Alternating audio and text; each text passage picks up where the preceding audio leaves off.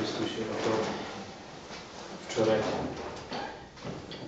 skończyła się oktawa zesłania Ducha Świętego. Dziś jest niedziela Trójcy Przynajświętszej. I wczorajszy dzień zakończył się ponownie zakończył ponownie okres szczególnego e, rozpatrywania, kontemplacji tajemnic pańskich, tajemnic związanych z Chrystusem, z Jego e, żywotem, z Jego wcieleniem, e, z Jego narodzeniem, objawieniem się, z Jego męką, zmartwychwstaniem, a w końcu w niebo wstąpieniem. I oto dzisiejsza niedziela rozpoczyna okres zwykły roku liturgicznego. Zesłanie Ducha Świętego było e, takim ostatecznym objawieniem się Pana Boga. Najpierw Chrystus objawił się, objawił e, swoje bóstwo, później przyszedł Duch Święty, stąpił i ostatecznie ukazał, czym jest, kim jest Pan Bóg. Ukazał, że jest we trzech osobach. Dlatego dobrze się składa, że ta niedziela E, spina niejako okres zesłania, po zesłaniu Ducha Świętego po zmartwychwstaniu Pańskim z okresem zwykłym. Trójca Przynajświętsza e, to jest to, co chciał nam objawić Pan Bóg w Nowym Testamencie. To jest taka ta najgłębsza prawda o tym, kim jest Bóg. To jest najgłębsza prawda o tym, e, jak jest życie w Trójcy Przynajświętszej. I ta prawda, ta wiara jest jedyną prawdziwą wiarą, i z tą e, wiarą w sercu, w umyśle chcemy doczytać końca naszych dni, chcemy umrzeć jako dobrzy katolicy. E, Ewangelia dzisiejszego święta wzięta jest ze świętego Mateusza i zawiera słowa naszego Pana Jezusa Chrystusa, w których rozkazuje On apostołom, bo jest mu dana wszelka władza na ziemi i w niebie. Nie jest to Jego prośba, jest to rozkaz tego, który ma prawo żądać od apostołów i od każdego człowieka posłuszeństwa. E, ten rozkaz oznacza rozprzestrzenienia dobrej nowiny po całym świecie. Do wszystkich narodów mają iść apostołowie i wszystkie narody mają czcić w imię Ojca i Syna i Ducha Świętego. Nie ma jednego wyjątku. Chrystus nie zrobił e, wyjątku dla Żydów, dla Mahometan, dla hinduistów, dla animistów. Wszystkie narody mają uznać Trójcę Przynajświętszą, prawdziwego Boga. I ten, te narody, ci ludzie, którzy nie uznają Trójcy Przynajświętszej, nie mają prawdziwej wiary, nie uznają prawdziwego Boga. Zatem i Żydzi, i muzułmanie są wykluczeni z wiary w prawdziwego Boga.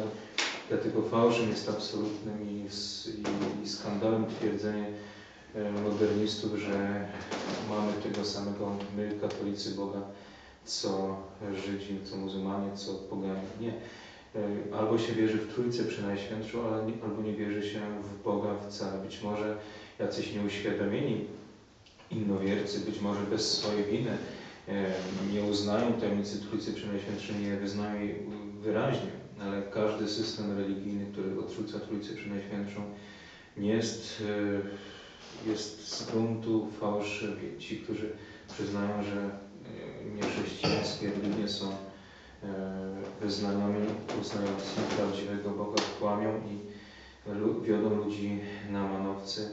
Zatem możemy mieć pewność, że nie posiadają oni władzy Chrystusa, nie wykonują tej władzy, która jest władzą nauczania w imię Chrystusa, nauczania chrzczenia wszystkie narody w imię Ojca i Syna i Ducha Świętego jak trudna jest tajemnica Trójcy Przenajświętszej, jak wzniosła i jednocześnie niebezpieczna w tym sensie, że łatwo jest tutaj pobłądzić, jeżeli nie jest prowadzonym przez Kościół. Pokazuje to przykład innych tak zwanych chrześcijan poza katolikami, którzy wszyscy źle e, wyznają, źle, źle myślą o Trójcy Przenajświętszej, nawet prawosławni, schizmatycy wschodni, którzy wydawać by się mogło są poniekąd najbliżej katolikom, nie mają prawdziwej wiedzy o tym, czym jest Trójca Przynajświętsza, bo uznają, że Duch Święty nie pochodzi od Syna. Jeżeli by tak było, to w gruncie rzeczy nie byłoby żadnej różnicy pomiędzy Duchem Świętym a Synem. Bóg Ojciec miałby de facto dwóch synów, co jest zupełnie absurdalne i, sprzeczne ze źródłami objawienia, sprzeczne z Pismem Świętym i z tym, z objawieniem, z tradycją apostolską. Duch Święty pochodzi od, i od Ojca, i od Syna. Jest tą miłością, która łączy te dwie osoby. Jest e, antyfona na bodajże nieszpory dzisiejszego święta. Pierwszy nieszpory mówi o tym, że jest to komunikacja. O ile Ojciec, Bóg Ojciec jest, jest miłością, o ile Syn Boży jest łaską, o tyle Duch Święty może być naj, naj, najlepiej e, określony tym słowem komunikacja, to, to połączenie, ta boska miłość, jaka jest ta relacja, jaka jest pomiędzy e, Bogiem e, Ojcem a Synem, e, a Synem Przedwiecznym, Synem Jednorodzonym.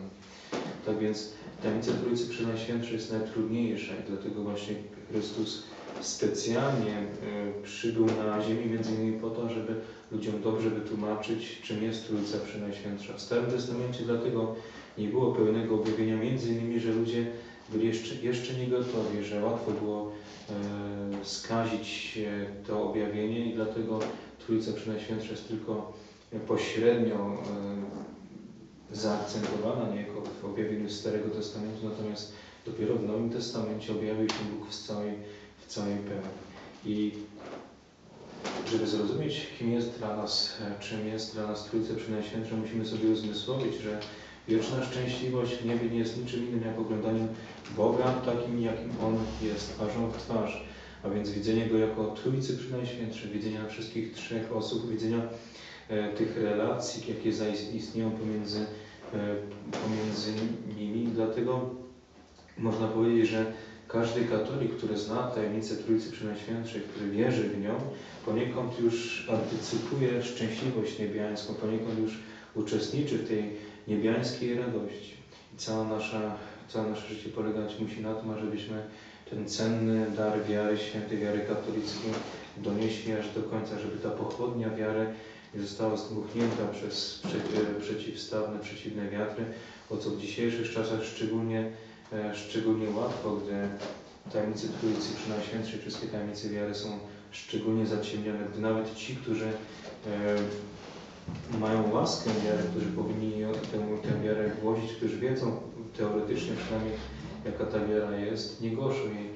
Dlatego między innymi, że chcą się układać chociażby z modernistami, jak Bractwo Świętego Piusa X, czy wielu, wielu innych, którzy postępują w ten sposób, którzy nie bronią wiary tak, jak powinni, nie, nie, nie robią dobrego użytku ze swojej wiedzy, nie wykorzystują swoich zdolności, swoich, e, swoich talentów dla obrony wiary świętej, dla rozprzestrzeniania tej wiary nieumniejszonej, nie umniejszonej o te elementy, które mogłyby razić konserwatywnych modernistów, takich jak e, Ratzinger. Musimy wierzyć w tą wiarę, którą przekazał nam Chrystus. Musimy dawać się, być, być gotowi na przyjęcie światła Ducha Świętego, Jego darów, Jego oświecenia, żebyśmy dobrze zrozumieli, czym jest wiara święta, żebyśmy e, sprostali też surowym wymaganiom świętej wiary, wiary katolickiej, byśmy we wszystkim byli jak najdoskonalsi. To jest możliwe e, dzięki osobistemu wysiłkowi, dzięki modlitwie, ofierze i również przez e, wstawiennictwo Najświętszej Marii Panny, która z każdą z osób Trójcy Przenajświętszej e, miała szczególne relacje, która do, była szczególnie oddana zarówno Bogu Ojcu, Synowi Bożemu, jak i Duchowi Świętemu. Była obudnicą Ducha Świętego, a w jej łonie druga osoba Trójcy Przenajświętszej, Przedwieczny Syn Boży, stał się człowiekiem, przyjął człowieczeństwo z ciałem, z krwią, z, z, duszą, z duszą ludzką. Módlmy się do Najświętszej Marii Panny, żeby nauczyła nas, e, przekazała nam dary Ducha Świętego, żebyśmy oświeceni wytrwali aż do końca w świętej wierze katolickiej i wyznawali ją mężnie i w sposób nieumniejszony, tak byśmy się byśmy za tę wiarę, za dobre uczynki i za dobre uczynki mogli kiedyś e, odebrać wiekuistą nagrodę. W imię Ojca i Syna i Ducha Świętego. Niech będzie pochwalony Jezus Chrystus, niepokalany serce Maryi.